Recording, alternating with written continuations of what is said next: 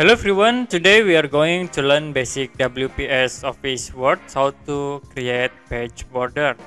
To create page border you can go to page layout and then click page border tools. It will be show for border and settings dialog box. In there I will use box option and it will be create for border. You also can set width in here like I will set into 3. Click OK to apply. If you want to create gap between text and border you can click again back borders click option and then like I will set top into 25 bottom 25 left 25 and right 25 click OK and OK again. So it will be automatically create gap between text and border. Okay that's it. How to create page border in WPS Office and if you have any question about this tutorial, you can comment below this video.